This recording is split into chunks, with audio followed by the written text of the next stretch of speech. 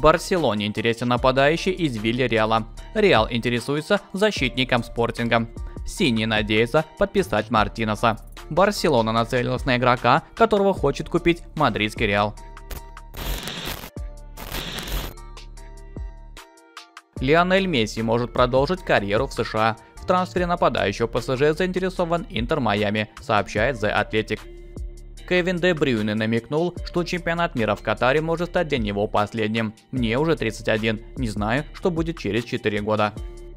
Франк Кисье не уйдет из Барселоны в зимнее трансферное окно. Каталонский клуб уверен, что футболист не покинет команду в январе. Стефани Фраппорт назначена главным арбитром на матч Лиги Чемпионов. 38-летняя рефери будет работать на игре шестого тура между Реалом и Селтиком.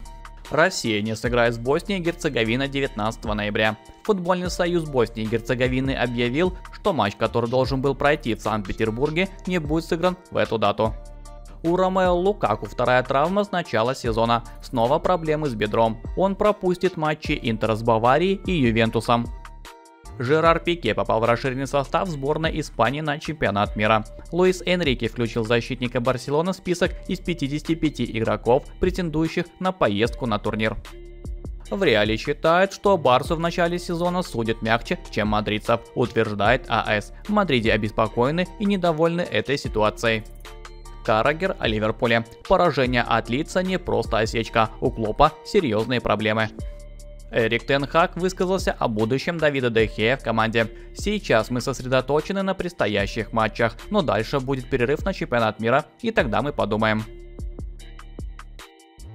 По данным The Guardian, Манчестер Юнайтед является первым в очереди на подписание звезды спортинга Абдулла Исахаку. 18-летний игрок будет играть на чемпионате мира в Катаре в составе сборной Ганны.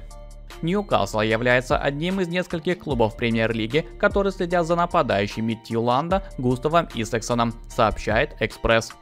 Футбол Insider сообщает, что главный тренер Тоттенхэма Антонио Конте получил хорошие новости от главы клуба. Президент дал зеленый свет итальянцу на большие траты уже в январе 2023 Арсенал проявил интерес к подписанию форварда Орландо Сити Факунда Торреса, сообщает Evening Standard.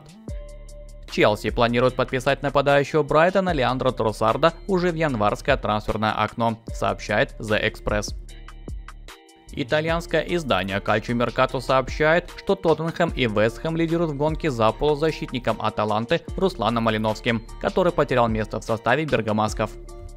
Украинская ассоциация футбола предложила FIFA не допустить участия футбольной сборной Ирана в чемпионате мира. Московская «Динамо» зимой может подписать опорного полузащитника. Игрока на эту позицию бело-голубые будут искать в том случае, если Матиас Норман продолжит оставаться в клубном лазарете. Агент защитника Марселя Самуэля Жиго допустил возвращение своего клиента в «Спартак», за которым выступал в период с 2018 по 2022. Левандовский не попал в заявку Барселоны на последний матч сезона в Лиге чемпионов.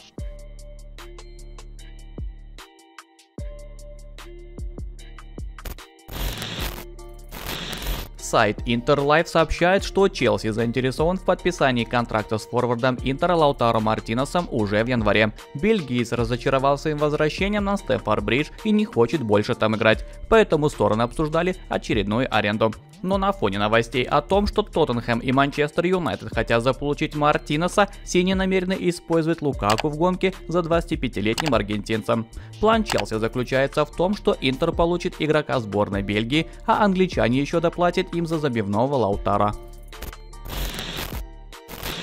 Манчестер Юнайтед всерьез задумался над усилением позиции голкипера. По информации от журналиста Manchester Evening News, клуб хочет нанять специалиста по подбору голкиперов, чтобы определить цель на трансферном рынке.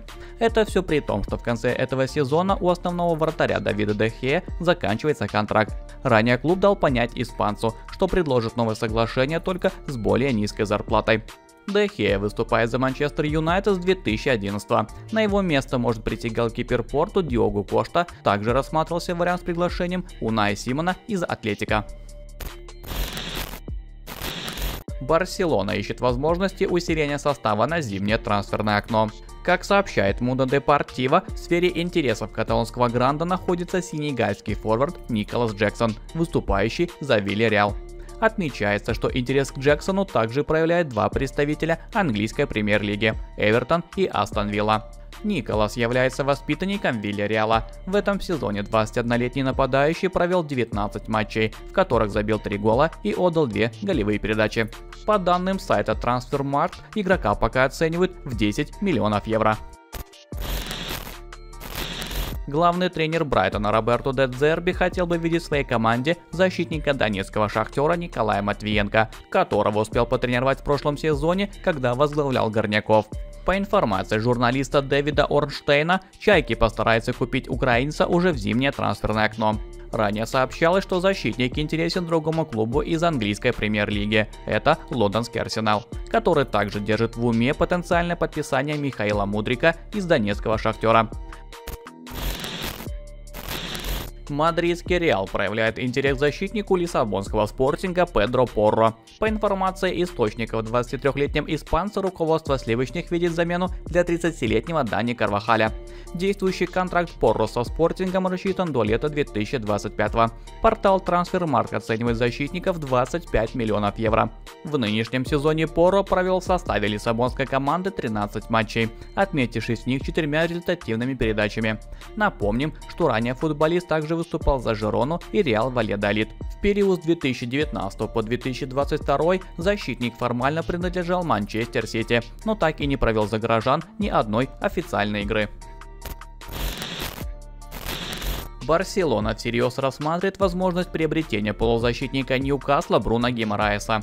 По информации от The Sun, в ближайшее время сине-гранатовые хотят начать переговоры по трансферу бразильца. Напомним, что игрок является одной из трансферных целей мадридского Реала. На фоне слухов об интересе королевского клуба, Ньюкасл начал с футболистом переговоры по продлению контракта. Сороки хотят предложить футболисту новое соглашение, по которому он будет зарабатывать около 220 тысяч евро в неделю. В прошлом сезоне Гимараес перешел в Ньюкасл из французского Леона за сумму в районе 40 миллионов евро. Стартовый состав Манчестер Сити самый дорогой в топ-5 лиг Европы. Об этом стало известно из исследования СИС, оценившего, сколько клубы потратили на футболистов, выходивших с первых минут на матчи национальных чемпионатов. Средняя цена 11 игроков основы Ман-Сити в этом сезоне составила 605 миллионов евро. А вот самый дорогой стартовый состав Сити вышел на матче с Брайтоном.